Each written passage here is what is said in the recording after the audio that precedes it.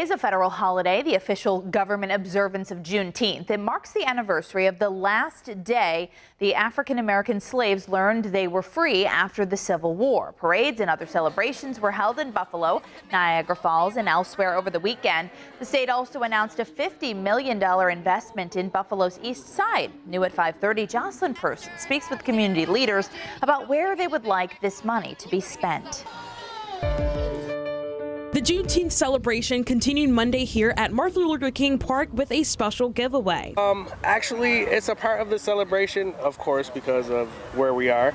But um, we are actually here to give the kids sports equipment. During the event, I spoke with LZ Mayweather, a coach with the Buffalo Athletic League. He heard about the governor's plan to invest $50 million in his East Side community, and he hopes some of that money will focus on local kids can actually, instead of building a new facility, just take the old facility and make it new for the kids. So. Mayweather's partner, Artist Green, agrees. I'm more so clearly with the kids spectrum.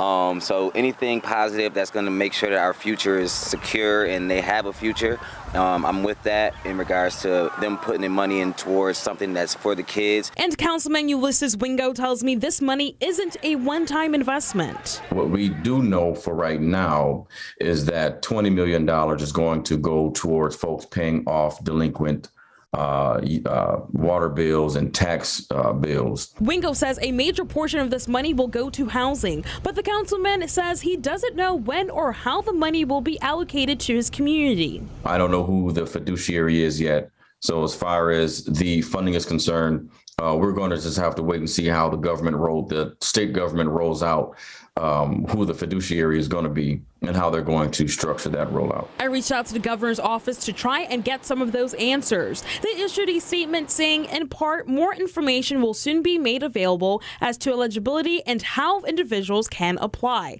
You can read the full statement on WKBW.com. Meantime, LZ is sending this message to the governor. I just hope that they do use it more generously with the youth and think about the communities inside the east side of Buffalo. Jocelyn Person, 7 News.